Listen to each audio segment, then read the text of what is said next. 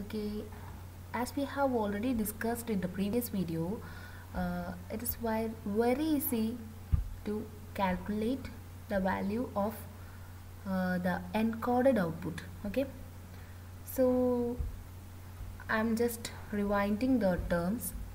Uh, we have explained about the sample where n equal to 1 that's equal to 4 and we have said that error was 0 sorry error was uh, 4 minus 0 that is equal to 4 and uh, after in, after quantizing we'll get the delta value as the error signal is positive so the delta is taken as 3 we were considered the delta as C as 3 uh, in our problem okay we can see the delta is equal to 3 this is uh, what we have assumed. So as this 4 minus 0 is 4 that is a positive value we can say that the delta is positive.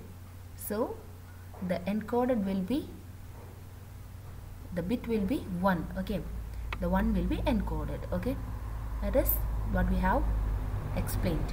While uh, it is being encoding at the same time itself it will go to the comparator.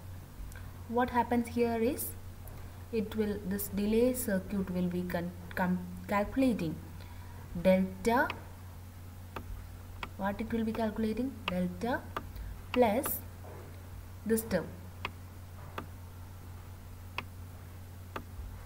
Okay. I'll write this here. Okay u of n minus 1 ts okay? What is this? At first u of n minus 1 ts is u of 0 ts what is that? That's equal to delta delta is 4 sorry sorry uh, delta is 3 and u of n minus 1 ts is uh, u of 0 ts that's equal to what is that? That's equal to 0 so the delay circuit will get what? 3 okay. This is the u of n minus 1 ts. Sorry this is the u of n ts. Okay? Is it okay? Okay. Okay. So uh, here we get a u of nts as equal to 3 am I right? That is equal to u of 0 ts am I right? It is u of 0 ts for n equal to 0 this u of nts will be there okay? This we have to consider. Next I'll take another color. Uh, let it be pink okay? Okay uh, for next sample. That sample is 6 okay? The sample incoming sample x of nts is 6 then the x of x dash of nts will be what will be x dash of nts that we have calculated. That is the value 3 okay that is 3 so that is x of x dash of 2 ts am I right? That is x dash of 2 ts and this x dash of 2 ts will be 3 is it okay? This 3 will be coming here and uh, 6 minus 3 that is the output of the comparator. Am I right? X of nt is minus x dash of nt is that is 6 minus 3 is equal to the error signal that is 3 and this error is positive. Okay. This error is positive. Then what we can say is error is positive. So the delta is equal to 3 this is already given. Okay. What will be encoded encoded will be? Yes it will be 1 because the, the error is positive. So just take another color. Let it be green. Mm, okay. Next what happens is uh, I'll show this. Okay. Yes encoded will be 1 and this delta will be coming here delta is again 3 okay delta is again 3 this delta plus what was u of n minus 1 ts that is for n equal to this is for n equal to 2 so for n equal to 2 n minus 1 will be u of 1 ts. What was u of n 1 ts? That is 3 okay 3 plus 3 you will get it as 3 plus 3 will be equal to 6 am I right? Okay. Now the 6 will be the next x dash of nts what is the x dash of? The 6 will be x dash of 3 ts this u of nts calculator will be coming here. Okay that is x dash of nts okay so just take another color it may be blue. Okay that's blue. Okay let's see that. Yes uh, 8 8 is the next sample so it will become here. And this is x dash of 3 ts was 6 and uh, what happens is x 8 minus 8 minus 6 what is 8 minus 6 8 minus 6 is equal to 2 again the error is positive. Then what happens is as error is positive we will encode it as 1 then what happens? This 2 will be no this not this 2 this uh,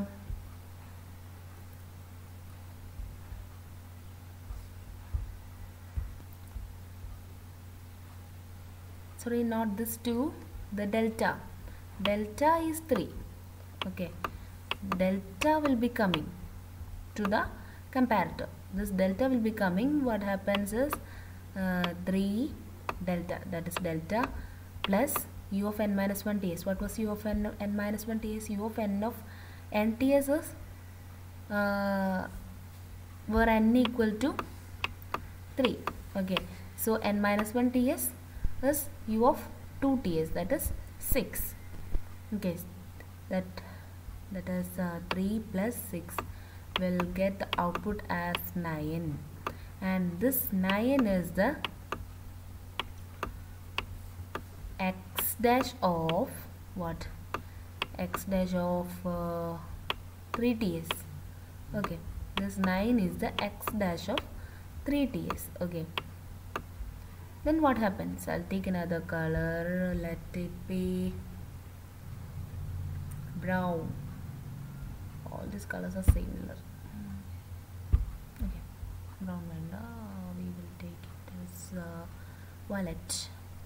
Next what happens is this 9 will be coming here and the next sample is also again 8 so this will be coming here 9 8 minus 9 will the air will get the error as minus 1 am I right? Am I right? Okay. So this minus 1 is the delta so it is negative. It will be encoded as minus delta. Am I right? So it will be encoded as 0 it will be encoded as 0 okay then it will be coming to the comparator again. And what is the incoming signal to the summer? That is minus 1 so minus 1 will be coming here and the u of n minus 1 ts is x dash of 3 ts that's equal to 9 and this 9 will be coming here this will be added together and 9 minus 1 will be getting the output as u of n ts will be equal to 8 and again this 8 will be coming as output of the delay circuit okay uh, the 8 will be the output of the delay circuit and we will get again an incoming signal 6 and this 6 minus 8 will be calculated. And what is the 6 minus 8 is equal to minus 2 the error is minus 2 and it will be encoded as 0 and then this uh, minus 2 will be coming here. And the previous signal was here it was 8 so 8 minus 2 it will be 6 and 6 will be coming here and the delay will be produced and the delay produced will be equal to 6 okay like that it will be continuing. Okay is that okay? Okay okay then uh, we have to discuss about the DM receiver. Okay. This is a block diagram of the DM receiver. This is similar to that of the uh, DPCM that we have already seen. There will be decoder at the input side of the receiver. The input will be in the form of a digital uh, waveform. That will be 1 1 0 like that and uh, the decoder will decode the digital to the discrete value and then it will be then again back converted to analog value. Am i right? Here there is a uh, there is a comparator and the comparator will produce x of nts and uh, the lpf will produce what? An analog signal at the output. This is a delay circuit and this will be acting as a feedback and an x of n minus 1 ts will be produced by this. Uh, this is a very simple thing. Uh, I think no need to have more explanation based on this. If required just we can uh, we can say an example will be let uh, the incoming signal uh, we can consider that uh, delta is 3 and x of n minus 20 is 0 then at initial condition and delta and x, my, x of n minus 1 ts will be compared and x of n ts will be produced. And um, this LPF will only pass only low frequency signals okay. And as well as a feedback will be coming to the comparator again. This x of nts may be 0 if initial condition uh, we have delta is equal to 3 and x of n minus 1 t is is equal to 0 then it will be uh, uh, producing x of n t that's equal to 3 and this will be again going back to the delay circuit through this block and uh, will be going back to the comparator. Okay like this it will be going on. Uh, this is not uh, much explanatory I think. Uh, just move to the next part okay. Then uh, what are the disadvantages of delta modulation? Uh, we know uh, for each type of modulation there are many disadvantages as well as advantages. Let's have a look at. Okay first one is slope overload distortion and another one is granular distortion. At first we can just look at slope overload distortion. Here for the slope overload distortion we can see the message signal have the slope that is much much higher than the step size. Uh, that is the d by dt of x of t. Uh, I can I will write it here. Okay the step size is defined as sorry the slope is defined as the uh, d by dt. Am I right? The incoming signal is x of t. Okay. d by dt of x of t is greater than that of the step size. What is step size? That is delta and this equation is used here. Delta by ts. d by dt of x of t is greater than delta by ts. Then that is known as an error called slope overload distortion. This is a kind of distortion while the x of t is greater. The slope of the x of t is greater than that of the step size the staircase waveform that has been produced uh, using the x of t uh, after modulation process will be approximated to signal u of t. And this u of t signal will be lagging behind the actual message signal. If this is a wave waveform and let I take I'll take another color. Okay uh, this will be the staircase waveform. Okay this type of a waveform will be producing. Am I right? Okay if uh, the waveform produced is